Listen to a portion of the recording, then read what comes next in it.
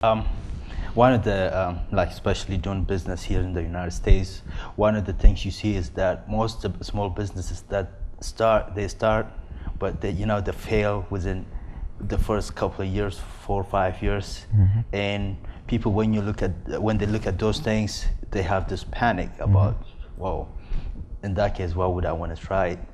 So should people use those uh, percentage of you know the number of people that are successful and that are not successful as a determinant for their you know f- uh, future business? Uh, I mean, I'll take an example. I mean, uh, for the first time, uh, I follow McDonald's, for example. Yeah. For the first time, McDonald's start closing some of their shops.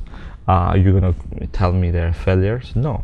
Maybe you know the product they created, the location they created, Yeah. the demographic they had at that particular location was wrong because they were too aggressive against Wendy's and against the other fast food franchises.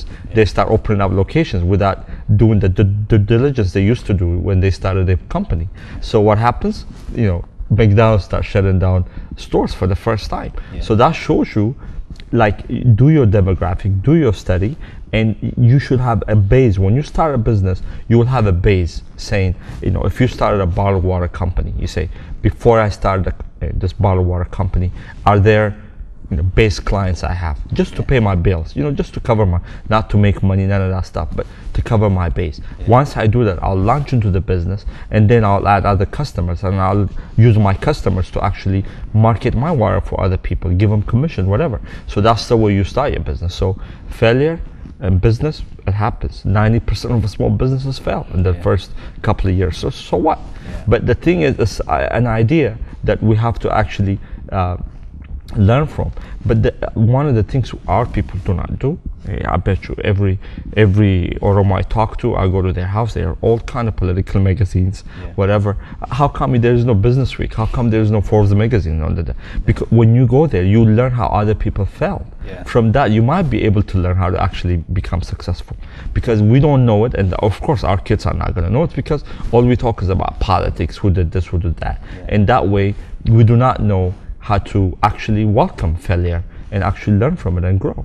So I, I suggest you really educate yourself, Yeah. and uh, to overcome those fears. So um, the other thing, where would be a good way to start to uh, you know when you want to do your business? It's like research wise. Um, of course, you know everybody has have different ideas about business or the kind of business they want to do. Generally, you know there are places to go for that kind of business uh, information that you need. But generally, um, if somebody has a business idea and but you know still stuck at the same place, basically going back to the earlier question, but expanding to that a little bit, where where would be a good way for what would be a good way for somebody to start uh, doing their research, and what would be a good way a, a good place to start? Wh- What a lot of people do not know, I mean, you, you'd be surprised how much, you know, you pay taxes, I pay taxes, so how much this government has so many services, Yeah. and we don't use it. One of the biggest services, the Small Business Administration, is Yeah. set by the federal government, has so many ways to teach you um, how to research business. They will help you how to actually build businesses, how to build your business plans. Those things are taught. They give classes for free. In, in your neighborhood, in your communities, they have uh, these um, uh, ideas where uh, they, they give uh, training job opportunities for people, how you create, how you get government contracts. All these are available in your local market. I don't care where you live. Yeah. They have it locally. Plus, what makes it even good, better for us, Yeah. is the us being a minority. Yeah. You being a minority gives you another clout that most of the people do not have here. But what do we do? We don't use it. What do we use? We use the food stamps, the, you know, the you know assistant, uh, you know, uh, affordable housing assistant. But okay, and nothing wrong with that. But at the same time, there are some assistance the government gives you that actually could build your life for the future. Why don't you go use those uh, uh, services? So all those services are available. It doesn't cost you a dime. They're willing to help you. So uh, believe it or not, they have a quota. How many people they have to give a loan to? How much millions of dollars they have to lend out to? Nev- they never uh, reach their quota, and it shows you there's plenty of money sitting around, um, grants, whatever, Yeah. just to your business. So the availability for uh, knowledge, how to package your business is vastly available throughout the country. All right. right, now shifting our maybe topic a little bit from you know how to get into business into um, the things that you do. Obviously, you, you're into real estate, and uh, now you're actually expanding into as a market as well as starting a foundation called the Oka Foundation. And uh, can you tell me a little bit about the Oka Foundation? Uh, basically, the Oliqaa Foundation is a, f- a foundation. Hopefully, we're going to launch um, the website in a couple of weeks.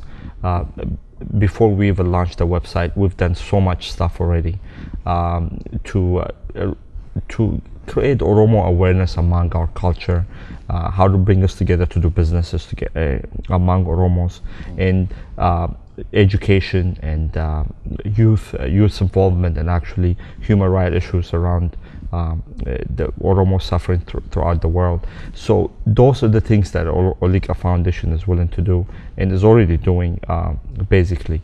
So actually we're uh, opening up an office in Minnesota. Um, soon I'll announce the, location. We're going to have a grand opening in, uh, in Minneapolis.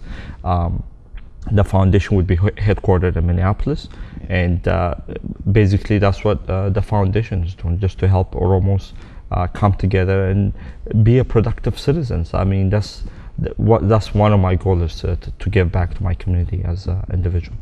Um, you, you know, it's, it's, it's, it's always, it's never a bad thing to actually give back to the community. But what made, what motivated you into getting into, you know, doing into, uh, getting into doing this, uh, uh, starting this foundation? I mean, is it, is it uh, influence from other people or is it, is it something you've been wanting to, to do for a long time but never got a chance to get around it and, and now this opportunity came in? So what, what, what was the base?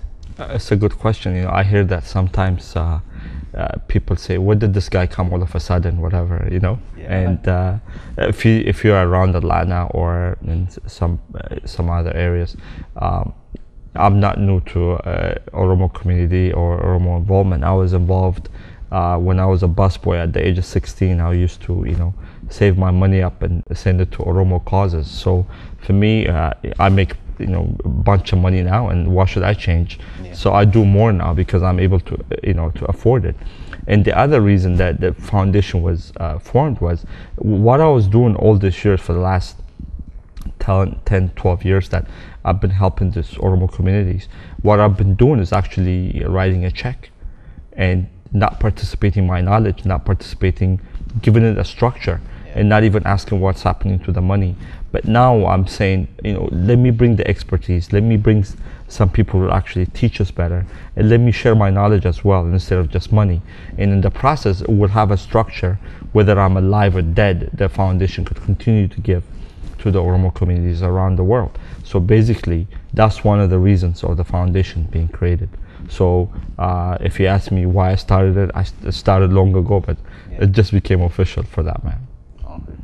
So, like you said, you used to, you used to actually write checks and stuff, and, and now you actually get involved into it yourself.